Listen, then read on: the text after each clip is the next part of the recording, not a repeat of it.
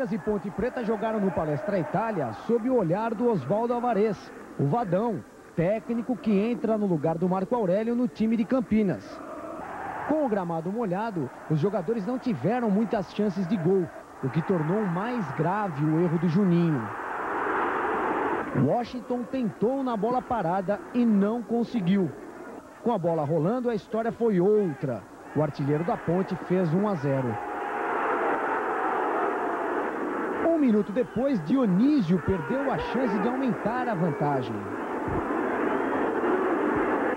Ainda no primeiro tempo, Marcos saiu errado. Pia cruzou e o Washington não conseguiu bater para o gol. No segundo tempo, o Palmeiras queria um empate. Galeano tentou de cabeça. Mas a ponte não estava para brincadeira e o Washington tratou de fazer 2 a 0. O golpe final foi a expulsão de Leonardo.